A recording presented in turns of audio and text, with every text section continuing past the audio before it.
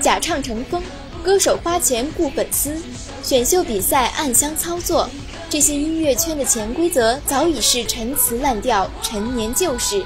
现在是只要你愿意花钱，就可以随便发单曲，人人都可以当歌手的年代。所谓道高一尺，魔高一丈，这些潜规则早已秘密升级。记者特别采访了唱片公司资深宣传、音乐制作人、乐评人等多位音乐人。下面就让我们一起看下音乐圈的潜规则和黑幕吧。唱片界的潜规则、买榜黑幕被媒体和公众议论了很多年，但无论歌手还是电台，对这个话题一直是竭力回避。不是矢口否认。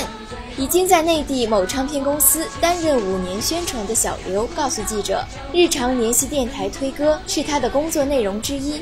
如果想要推艺人新歌上电台榜单，就要先购买所谓的电台广告，八万八、十万八、十二万八、十四万八这几种价位套餐随你选，价位越高，上榜的可能性就越大。这种以广告的名义，表面上做宣传广告，实际上是在卖榜。如果一次买好几个月的广告，那么年底的颁奖礼拿奖也就可以稍微谈一下了。